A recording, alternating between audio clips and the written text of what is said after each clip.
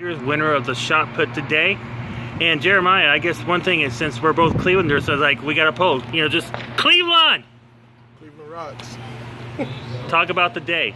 Uh, the day it started with shot put. I actually have two events today: shot put and hammer. And um, shot put is really my more event that I'm good at, really. So it went well for me. Fortunately, my very first throw won it. Like my my first throw was good enough to get me first place, and um, I just took from there. And uh, overall, I'm just glad I was able to get my team that 10 points that they need.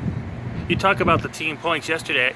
You and I were talking a little yesterday, and you were a little disappointed because instead of finishing second, you finished third, and that you know that's two points right there. Yeah, I uh, you know going into second, really you would think you're finished second or hopefully more you know higher than that, but unfortunately I finished third, and I, you know third place gets six points, and that's two points unaccounted for. So it did kind of mess with my head a little bit, but like I said, I had shot put today, and I know I can make up for it, and I feel like I did. So you know, life goes on. I'm feeling better about it.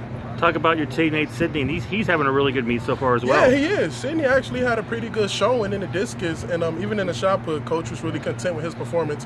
Hammer is really his event, so mm-hmm. hopefully he can you know come clutch for the team and the throwers are really just putting together a pretty good week for the teams. So, anything else? Hell Wildcats.